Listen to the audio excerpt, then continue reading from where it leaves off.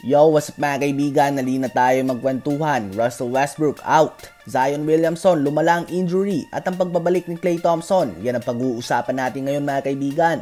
Ngunit bagong lahat ay huwag kalimutan na mag-like, mag-subscribe at i-hit ang notification bell for more updates at kwentuhan. Salamat po. Let's go!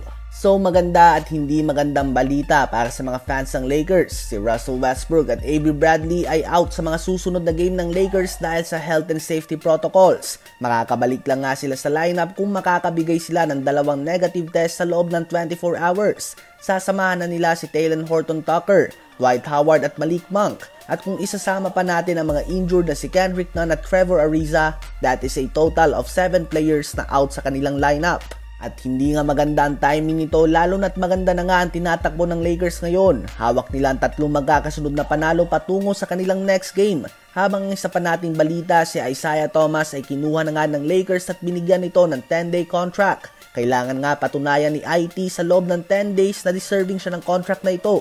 At ito na nga ang perfect timing para sa kanya dahil alam naman natin na may napakadaming guards ng Lakers. Andyan nga si Rondo, Westbrook, Kendrick Nunn, Kent Bazemore, Austin Reeves, Wayne Ellington, Malik Monk, THT, Bradley at ngayon ay si IT. Ngunit dahil nga sa health and safety protocols, posibleng mabigyan ng minuto si Isaiah Thomas na gumawa kahapon ng 42.6 rebounds at 8 assists sa kanyang unang game sa NBA G League. Nagustuhan nyo ba ang galaw na ito ng Lakers?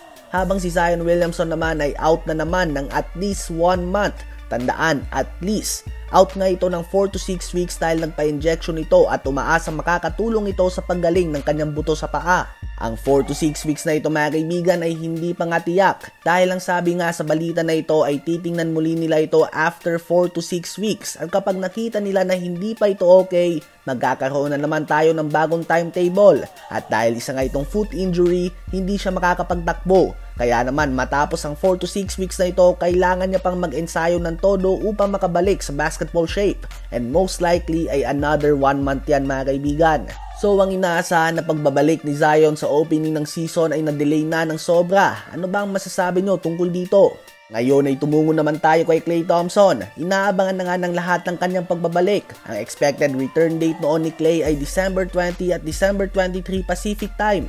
Ngunit mukhang wala ngang plano ang Warriors na madaliin ito at talagang nagiging maingat sila.